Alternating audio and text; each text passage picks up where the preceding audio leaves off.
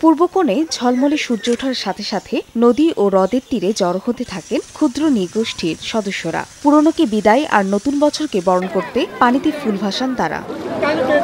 Khagrachari Changi নদীর জলে ফুল ভাসিয়ে পরিবার ও জাতির জন্য মঙ্গল কামনা করেন মারমারা। বেলা বাড়ার সাথে সাথে নদী তীরে ঢল নামে মানুষের। তিন দিনের উৎসবের প্রথম দিনে এই আনুষ্ঠানিকতাকে বলা হয় ফুল বিজু।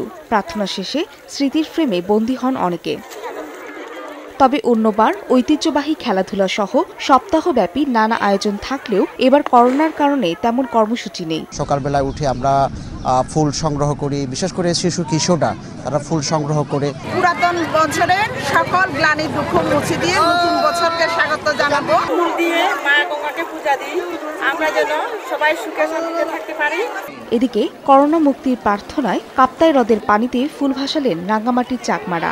বর্ণিল পোশাকে অংশ নেন আদিবাসী তরুণ তরুণীরা। পুরনো বছরের জীর্ণতাকে ভুলে নতুন বছরকে স্বাগত জানাতে একাত্ম হন সবাই। ভবিষ্যতে করোনা মুক্ত দেশ হয়ে আমরা আরও ভালোভাবে ফুল বিজয়কে উদযাপন করতে চাই করোনা মহামারী থেকে বিশ্ব থেকে বিদায় নাই আমরা তাই প্রার্থনা করতেছি আর ত্রিপুরারা বৈশুক মারমারা সাংঘাই আর চাকমারা বিজু নামে এই উৎসব পালন করেন। তিন সম্প্রদায় উৎসবের অধ্যক্ষর নিয়েই এই উৎসবের নাম হয় বৈশাখী।